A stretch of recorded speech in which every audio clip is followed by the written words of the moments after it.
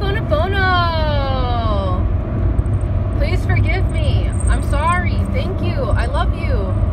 I love you. I'm sorry. Please forgive me. Thank you. Thank you. Please forgive me. I'm sorry. I love you. I love you. I'm sorry. Please forgive me. Thank you. Ho'oponopono. I love you. Please forgive me. Thank you. I'm sorry. There's many different ways of channeling this energy. This mantra is an amazing mantra for you to work with, to talk to yourself, to honor yourself, to say, please forgive me. I'm sorry. Thank you. I love you. Ho'oponopono. Jai Bhagwan. Jai Bhagwan. Namaste. Trina Christine Mason here, channeling you divine energy, divine love for free. Welcome to my free YouTube channel. I'm very grateful that I'm able to still be here. As you know, many of us are being wiped off the interface, so there's not a whole lot of consistency, you can say. So that's why I've attempted to create these alternate portals where you can pay to be a part of my world and my life, and where like we're guaranteed to connect in these places. You know what I mean? And I'll attempt to always connect and to reach the masses in any way, shape, or form that spirit guides me that is appropriate. And I understand I am presently protected by divine source, and that there is a divine plan that is also part of divine source's plan. However, there's many junctions at hand and um, sometimes things need to die, or we need to uh, let things go. We need to open our hand in order to receive. You know what I mean? Like, um, when I say die, I mean like sometimes a part of the self needs to die. You know what I mean? Like maybe like you have this belief system that I'm no good and I'm terrible, and um, that needs to die. Like it's not true. You need to recognize how recognize recognize how wonderful and how magical and how pure and how proper you are. And yeah, notice all your flaws and love yourself. Be like, yeah, man, I'm messy, man. I love to be messy. Like for me, I'm like, yeah, that's right. I love to pick my nose. If you don't like that I pick my nose, and you just stay away from me because I am a nose picker and I like having a clean nose and I blow rap out my nose. And hey, it's none of your business what I do. Either you love me wholeheartedly for all that I am, or you only love me conditionally, or on like certain conditions. If I love you, you love me. This is not love. This is control. This is manipulation. This is improper. I had one of the best days I've ever had of my life at my job, and I do not mean how much money I've made. Okay? I'm talking about that God has sent me some of the most sacred and holy people that I needed to work with and that needed to work with me. And God, the beauty and the irony, like, there are some things that I just couldn't take and I couldn't contain. And um, I did my very best. That's all I can say. So I'll say ho'oponopono to those. You know what I mean?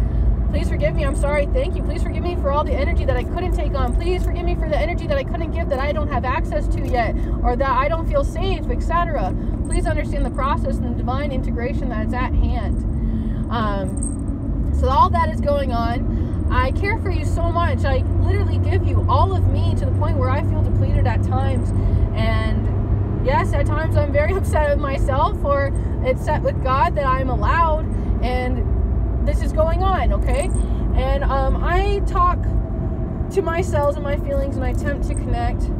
And I'll admit sometimes I really struggle to do that, which is how I started doing the business that I'm doing, where I provide this safe space where you can go within and really honor your feelings and really know what's going on and understand quantum mechanics on a higher level.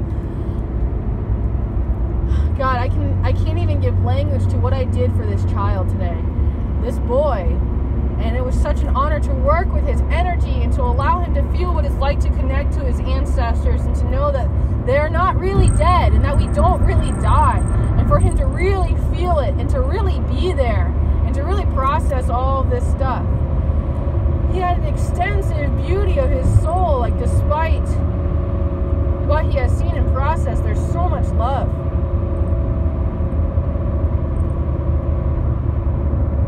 God, I wonder also, though, to what level there was projection, like where he had become me and had been processing me as him, and then I might have been interpreting him as me. Though I understand that Newton's third law and the quantum mechanics that like I wouldn't be able like he would have to recognize himself in me. Like all these different levels of quantum entanglement. I can't even talk, okay, I'm stuttering. Um I'm overwhelmed, okay? So um, I'm very glad that my job, Cassadaga, Purple Rose, has hired a male. I really enjoy this male. I shook his hand and had a great deal of energy spent with this person. And um, God, it was just, I don't even feel drained about giving it. You know what I mean? Um, it was just so phenomenal, and I'm so proud to say that we are having our first male reader. I mean, it's not our first male reader, but it's my first male reader since I've been there. You know what I mean? And like for me, that's exciting. You know, I know there was a guy there when I like right when I was showing up or whatever, like he was leaving or whatever. But oh my God, man, my God, the energy is just so phenomenal. And I know he has a lot of his own stuff, but I, I recognize how we are a family here at the Purple Rose. And it's just so phenomenal to be integrating, to be doing all this work and all this process, and to be a family. And um, God, I'm just growing so much. Like I have so many things to the Purple Rose, but all I can hear is my boss, Kathy, man. Kathy told me when I first started that this would be a place where I'm planted as a seed and I outgrow or that I go elsewhere. Like she felt that. She told me that. And um, honestly, it was really painful to hear, you know what I mean? Because at the time, this was everything I've ever wanted and this was the ultimate accomplishment. And I'm seeing now, like, God is showing me through this job, like, how I'm meant to do this work even when I'm not at work. You know, work is just teaching me how to integrate and how to play and, how to know, like, my calling and what we're working with and about colors and the deals of the spectrum and what's really going on here. Okay? And God, I feel really frustrated because now I'm getting visions of a girl that I'm seeing visions of more things that I could have done, you know, but like I was having such a hard time breathing and being and and existing and going through this process. She even offered me to have time to like, you know, process and integrate. But spirit in me was like, no, I can take this. But also that's my warrior energy, you know, I don't know when to quit sometimes.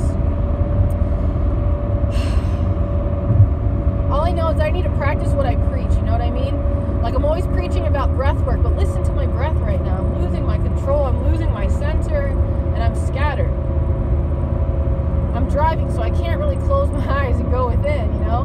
But working at the ashram actually taught me of like slightly eyes open, just slightly, just noticing that this energy is there even when I open my eyes. And I would love to record some of Khan, or I wish I could get my hands on some content, or maybe I could get his consent to record his session the next time I go in. He's there on Thursdays. If you can get to the ashram of the Amrit Institute on Thursday nights, um, I believe that's the time he was there. I could be totally screwing up, so don't listen to me. Contact the Amrit Institute and get into contact with Chandra Khan. Please go to the ashram. If you're hearing this and if you have the power to get to this ashram, please go to the Amrit Yoga Institute. Oh my place changed my life. The power of silence, the power of meditation. Like, there's so many easy ways to access the same things, but just some people really walk and be it. You know what I mean? And like, they don't have to preach or teach anything because it's there. I'm like, is this my exit? I'm a little thrown off. Is it 289 or is it 287? I'm like looking. I think it might be 286. I don't know. Hopefully, hopefully I didn't pass it.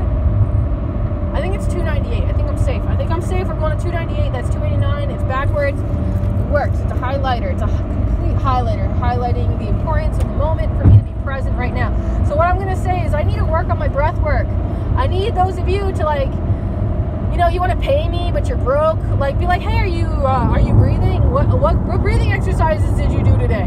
You know what I mean? Like, play with me in this way, and just know that I need this fuel, man. I need to be doing Wim Hof breathing. I need to be doing holotropic breathing. I need to learn the breathing technique of pregnancy. I have all these things I need to learn, but I really do best if I have someone private that we sit together and you teach me, man.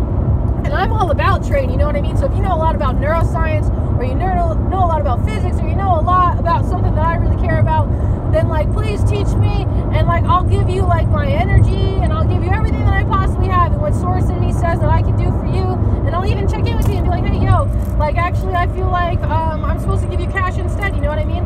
But you have to trust in me that source is like gonna like do what's right, you know what I mean? And like also you too, like you know that like you should be paying me cash. Like I'm doing you a great service. You feel good just calling upon my energy and asking me to be present with you in an astral dimensional way, like in your dreams or in your room when I'm, you know, busy doing stuff. But you know that drains my energy too. You gotta believe in quantum mechanics. You gotta understand this is affecting me. If you are using my sexual energy, that is affecting me. Did I give you consent? Did I give you consent? Are you on the dark I can't even talk, okay? this goes into Star Wars stuff, you know, dark side of the force. How are you using my energy? Did I give consent? Are we a Jedi teamwork or are you just using me? I'm not trying to use you, I'm trying to be a Jedi and be a co creation, a collective, a sharing, a caring, a co creation where I am meets I am in you, and then we come together and understand the pain and the suffering and understand the importance of integration. There is such a strong importance for integration. I apologize. I know I'm coming from a state of sharing with you like all these videos of like just me hiking through the chairs. to the chairs. God. Yeah, that's right. Our chairs are made of wood, okay, you guys? You need to reconnect with the trees. I'm clairaudient. I hear the plants. I hear the spirit. I hear water. I, I can hear as I choose to connect to every little microfiber thing. And so can you. You do not need me. You do not need me. This is nothing new. I am your friend. I am your family. I am your sister. S I S T A R. I am your star. Your sister. You can call me your saint, your Gurudev. I don't care what you call me, bro. Straight up. Straight up. I mean, yeah, like my ego likes you call me goddess or master. You know, I like that was like my ego in the past. I mean, now I think I might appreciate more if you were like, oh, compassionate one. You know what I mean? Speak to me like in this devotional goddess way. Like notice that in me, and then notice your power to talk to other people like that. And notice the people that are so far removed from that, and if you talk to them, that they will see the irony and lighten their heart load. Oh, compassionate one. Imagine saying that to someone who's really angry.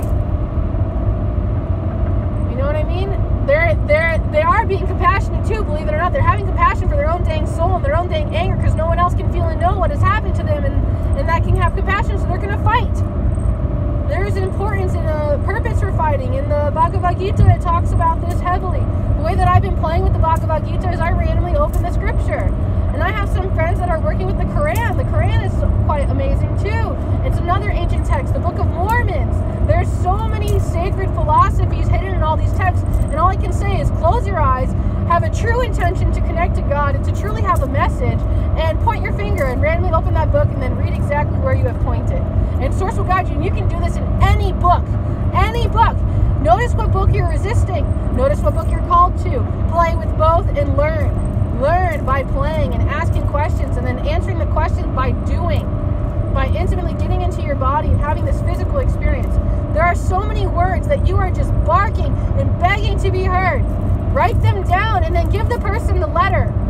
Give it to them. Or if you need energetic assistance, I can also help transcend this energy. You will know if you're meant to come to me. I'm not here to push sales on you, but yeah, I need to be paid for my time and my energy. Have some empathy. This is what I do. This is what I do. I need to live. I'm hungry. I'm tired. I want to work. I want to work, but I'm tired and I'm hungry and I'm bored. I'm slightly bored. Like I'm literally hungry to service you. Like just know that like I'm looking for energies that people can't contain or and they don't want to live anymore or that they're sick. Like I want to work with you. I want to remind you why you're here especially if you're struggling to be alone. Let me be your friend. Let me be your sister. Uh, uh, my boyfriend. I want my boyfriend to be my husband. Like, oh, like my ego wants to attach and like own and manipulate and make this person be with me in this particular way. I just love him so much. I'm so moved by how God in him talks to me and how it comforts me and like how it's there and the timing. I can't take it. The energy is overwhelming. I just love him so much. And it reminds me of my love for Source. And it reminds me of just like, oh, I can't take it. I can't take it. I want to take it, dude. Please let me over. I need to take this exit. Don't be a dick. Thank you. I thank you with your rights. God, don't hate me for needing to exit. Just don't forget that we're not, this is a lesson from my ZTM, and it comes from his friend man. And it's that we're not just cars. There's people in these cars. There's so much going on, and I just feel like you're not seeing, and I want to share with you. And I feel like there's a lot that my partner isn't seeing too that we can't connect because he doesn't see and understand the divine consciousness and some of this stuff which is why like source tells me like share this with him but like he's also not ready and not willing to integrate and to hear some of this stuff so that can be really painful and really annoying. But also my love for him just calls me back to go back go back. But i feel like maybe this is god in me loving him too like trying to get him to do his purpose of working with like like brain surgery basically you know what i mean? But there's also these studies and i'm being given all these people that i wish to connect this man with and just I can't take it. I can't take it because like I'm mad that I have no control. Like you know what I mean? Like I'm showing the visions, I'm showing the options and the visions and the opportunities, and then um like I'm just like chopped liver. I'm on the side here. You know what I mean? Um. Uh, I'm chopped liver like when my voice falls onto deaf ears, you know what I mean? Or like when I can't do anything, when I give you the wisdom and I tell you you just need to close your eyes and go within, and then when you just won't do it, like you ask me for help and then you won't do the work, you won't go within, you won't listen to the feelings, you won't allow yourself to process your old toxic emotions, you just want to fight and destroy shit. You have no care about reflecting on the other side of the actions. Like there's no compassion. No compassion no compassion. I just scream that time and time again. It's like over and over again, no compassion, no compassion, no compassion. God damn. Okay? Don't be so selfish and get stuck in your own imprints. Okay? So, this girl Chelsea watched my house for 30 days basically, man. And she took care of my cat. She cleaned his poop. But not just that, but she's a sensitive. She's a psychic. She's a very powerful healer. I love this woman so much. And I was called by God to call upon her and to invite her to Namaste. My inner kid wanted to go to Namaste. I have a bunch of food at home, and um, I'm honestly really struggling to eat. I'm, I bought all this organic food. I spent way too much money on groceries, and it's probably all going to go bad. And my inner kid, or my ego, or dominatrix in me says, send money and like freaking reimburse me for all this stuff because God, I suck. but but no, you, like it's not really your job to take responsibility for me in that way. But I really do need to learn how to eat and how to cook and how to sit and be with myself and how to be without all this or without this conditioning. You know what I mean? Like I need to also have compassion for myself and give myself permission to go out to eat to Namaste right now. And since she watched my house, um, Spirit's telling me to treat her and take her out to eat at Namaste. I was originally going to go to Namaste by myself, but I called her and I managed to get her to ask her dad if her dad would drop her off at the restaurant. I'm very fortunate that he's dropping her off and she's patiently waiting for me there and I'm headed there now as fast as possible. Kitchen closes at 8. You know what I mean? I'm trying to honor this family and come there and give them my business and so they can also get out at their same time. You know what I mean? Um, but also, God, I, I need, I need, I need, I need, okay? I've been longing for Namaste. I haven't had Namaste for 30 days. I'm longing for their chai. I'm longing for the sweet essence and the nectar of uh, Parimal. Parimal is the who owns Namaste with his wife, Patricia. God, how I love these people. When I was in, um, when I was out of state, man, and I was in this deep sense of longing for this energy, for this feeling of home that I get when I eat certain Indian food and when I'm with like these people that have this this lineage and the practices and they live and they embody that gentleness and the teachings that are held in the Bhagavad Gita that are held in yoga that are held in all these religious practices you know what I mean?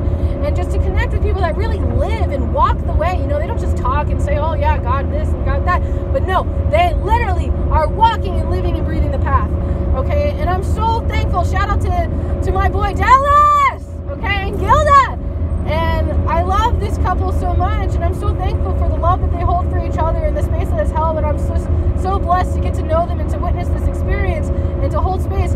And they blessed me with their presence today, and they brought me a person who I think could easily have a job at Cassadaga. By the way, easily, Dallas. So if you're hearing this right now, please know that like yeah, that chick could totally get a get a job at my job. You know what I mean? She's got some powerful, beautiful energy, and um God, there's just so much suppressed energy. And, um, yo, I'm just going to call it out, okay? I have black friends, and like I know that there's like people who are extremely racist and who will like find great offense to this, and then there's other people that are laughing at that, you know, be like, God, that's so stupid. Yeah, I know, I know, but I do notice where like the black or like you know the darker skin the olive the native the indian you know the other part of my bloodline that you don't necessarily see in my blonde hair you know what i mean like i can see that essence being like like trying to be like uh, brainwashed, manipulated, controlled, and conditioned. Like, I want to call upon more uh, dark-skinned people to come to the spirit, I guess you could say, or, or not to the spirit because they're already there, but I guess to doing the service, to doing psychic readings, and to be open in your communities that like this magic is there and the ancestors and I know it's in the lineages I know that we talk about it but how much are you living and breathing and embodying it? So that's my message for today it feels like and um, I'm thankful for those of you um, all the women are coming to mind, all the women who have sent me donations, and all the people who like go out of their way and send me donations after watching my YouTube videos. Like I'm so thankful for you. If it wasn't for you, like I wouldn't have the freedom to eat and to go be with my partner and to go do all this crazy stuff that I'm doing and I'm sharing with you. Like I'm not gonna lie, Mexico is calling me so hard, and I just spent so much money, but like God, if I had a thousand dollars just gifted to me right now, I promise you I would go. I would go, I would go, I would go, I would go. I would go. And I'd like beg you, if you have the power to let me go, please let me go, please. I'm called to go work with Bufo Alvarius to continue the work of working with 5-MeO-DMT, and I would love to share with you some things that are going on, and I trust that God will provide the space when the timing is appropriate. And I promise you, I will videotape and I will share the journey if that's what is called for, you know, the medicine, if that medicine is needed. But I think there's something much more deeper going on. I feel like there's one of you out there right now who actually can afford to do this for me right now. And like, um, honestly, it feels like you're just hungry to serve. Like you feel really empty, you're really hungry, you have all this money, but you're miserable and you want to do something good with it. And you want to know that you're doing something good for the whole. Please know that I'm not being selfish, you know? And like, like you can, I hope that you can see that. And just know that I also am being selfish because if it wasn't for my own personal suffering, how the heck could I understand and know what you're going through? For example, I don't believe I'm someone who can exceptionally help alcoholics. I haven't been an alcoholic. I've been around alcoholics and I can understand the path of addiction, but I don't know what it's like to really, really crave a drink besides feeling a hangover. Did you know a hangover is actually the withdrawal symptom of alcohol? Joe Rogan talks about this excessively. I believe he discussed it inside his interview with Dennis McKenna. Did I say Dennis? um, come on, the other McKenna. I, am blacking out his name. Is it Dennis? It's Terence McKenna's brother. But that interview is phenomenal, and I'm at the tip of the iceberg of it. I still have a lot to finish in it, and man, I'm learning a lot of things about Joe Rogan that like are kind of like scaring me about Joe. Like, Joe, do you know about your bloodline? Do you know how you're being used by the media? Do you understand why are you're being given permission? Like, do you understand what's really going on? And do you really want to heal? I know you got to go to the Vatican, but man, I'd love to really help you in a whole completely different way. And it's not easy. I know you got these demons, and man, I'd love to help you purge and to work with this shamanic energy. I even see a shaman for you. There's a couple different shamans. I know you're infinite resources. You know what I mean? So like, it's not about money. It's about you actually putting in the work and wanting to heal. Um, feel free to send this to Joe, or I don't know if Joe actually has any way of hearing this, but I know we are in six degrees of separation. But um, I got a lot of love for Joe. I, I see what you're doing. I, I see that your higher self has the intentions of doing something greater, but I also see some other stuff going on that I really question, you know what I mean? Like working with these uh, eugenics and um, this anti-aging stuff, and like, I mean, and working with Elon Musk. I mean, I mean, I know there's a lot of great opinions, and I know there's a lot of great desire, but there's also a great need for man not to play God. You know what I mean? Like, like man's really messing stuff up. I believe Elon Musk even talks about how like it's kind of like mandatory for us to put our consciousness into into this hive, and um, I'm not liking it. That's all I'll say. I'm not liking it. I'm not liking what I'm visioning. I'm not liking what I'm seeing. I'm like, it's just uncomfortable. It's very uncomfortable. Um, but I just feel like it shouldn't have to come down to this, okay? I think that we can save humanity and appreciate our bodies and appreciate animals and appreciate the planet in a much different way if we can just freaking, like, just take some little time to fucking talk and to think and to come together and just understand what the fuck's really going on, okay? And like, God, this makes me think of like an emoji of Joe that my dad showed me, like, like talking about how like Joe was saying this skit of something, like how everybody's acting like they know what's going on. You know what I mean? Like, do you know what's going on? Like this neuroscientist or like all these different scientific people, like they have this wisdom and all this stuff, and everybody acts like they know what's going on, but truthfully, nobody knows what the heck's really going on.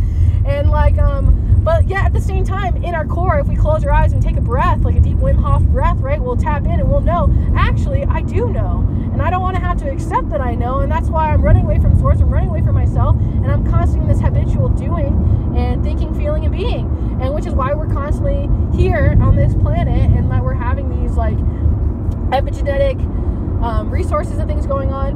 Um, I'm very thankful for the internet. Okay, I've watched like a lot of um, like worldly science affairs. I guess like they're I don't know what they're called. Okay, my boyfriend actually showed them to me, but that's just one thing that I'll contribute to like my access of intelligence. But honestly, the internet has been a great vessel, even though it's like it's a tool used to hurt humanity.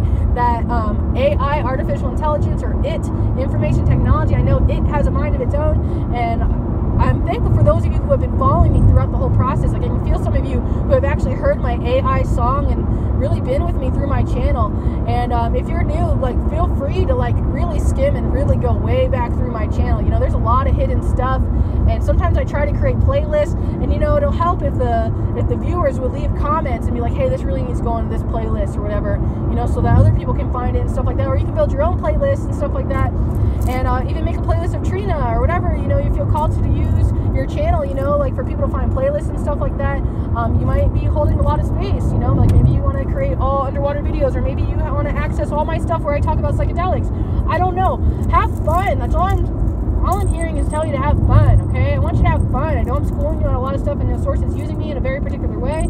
Um, today was really intense because of the mediumship okay? Like i access a whole nother level of being able to connect to the dead. And i didn't like it but i loved it but i didn't like it.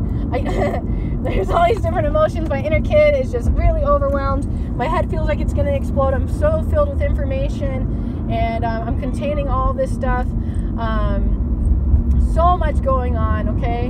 Um, honestly i'm to need to go to mexico a couple times. It's about $300 round trip and um, Mexico is just one of many places that I'm called to go. I need to go to Oregon. There's a lot of things going on, a lot of places, and some of you can feel that, like, you know, that I need to travel and experience some of these things. And, like, Spirit in you is telling you to tell me where I need to go, like listening to the Untethered Soul. Like, there's a lot of different things. I would love for ZTM to listen to the Untethered Soul audiobook. I wish that we could listen to it together, um, but I have no control, right? You know what I mean? Like, I'm just holding space and information and accessing divine consciousness. I call this Krishna consciousness, where I'm, like, ultimately connecting to Source and focusing on God as much as possible, the energy that is God. Dude, Babaji goes so deeply into this stuff. I would love to read the book out loud. Um, I think I want to do that. I'm pretty sure that this is safe. It's an old textbook. It's a spiritual practice, and if I connect to the energy of Babaji, I can feel him crying and filled with joy how he would want these messages shared. So I'm willing to, you know, take accountability for my actions and um, to also just do what I feel is necessary. You know what I mean? Um, it's just how I've been living my life, and um, man, I'm really excited to share some of these teachings with you because they just touched my soul and they just changed me in such a way. I might have to go back in my book and highlight and to really like process again, you know, before I read out loud and stuff like that because I might totally break down crying while reading the stories. But maybe you need that genuine energy, you know, maybe I should just start off from scratch and, and um, work with that. Um, this book is available to you. Um, it was like a hundred dollars to be honest. This book is really old. Um, I'm really into buying old books, so some of you might notice some books on my wish list that are like pricey or like some things that don't make sense.